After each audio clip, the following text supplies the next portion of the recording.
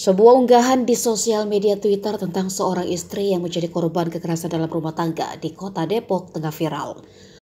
Viralnya kasus ini karena bukannya mendapat pembelaan, sang istri justru ditetapkan tersangka oleh kepolisian.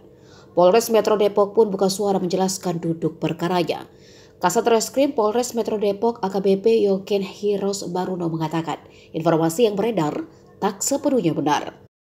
Peristiwa KDRT ini terjadi pada akhir Februari 2023 lalu, yang mana sang istri berinisial PB terlihat cekcok dengan suaminya berinisial BI. Sang suami tersinggung dengan ucapan sang istri dan menumpahkan bubuk cabai ke mata sang istri dan terjadilah perkelahian.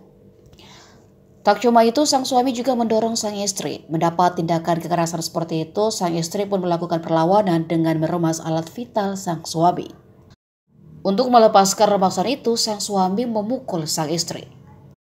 Buntutnya, keduanya pun melaporkan kekerasan tersebut ke Polres Metro Depok, yang mana sang istri melapor lebih dulu, baru setelah itu disusul si suami. Berdasarkan hasil penyelidikan dengan melibatkan para ahli pidana, Yogen mengatakan pihaknya menetapkan keduanya sebagai tersangka dan dilakukan penahanan. Dalam perjalanannya ada salah satu pihak yang mengajukan restoratif justice dan langsung diupayakan oleh pihak kepolisian. Namun dalam proses restoratif justice tersebut, pihak sang istri tidak menghadirinya hingga buntutnya kasus itu pun kembali berlanjut. Menyoal penahanan, Yogen mengatakan pihaknya tidak menahan sang suami karena rekomendasi dari dokter. Sang suami harus menjalani operasi karena luka parah pada bagian kelaminnya akibat diremas oleh si istri.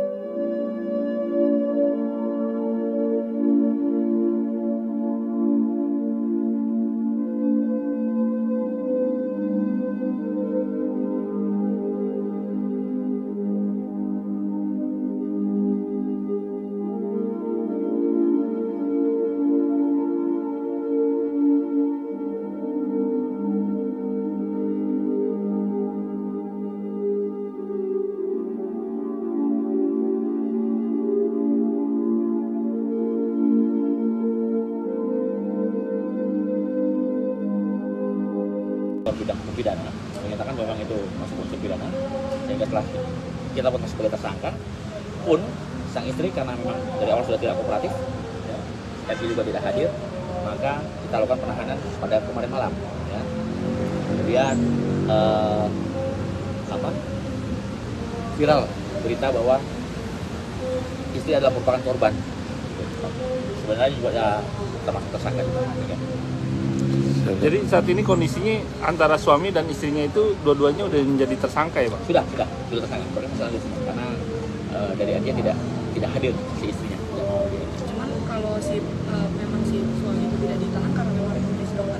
Rekomendasi dokter ya, rekomendasi dokter dari rumah sakit dibawa ke tahanan kita, kemudian dari dokter kita juga karena rekomendasi seperti itu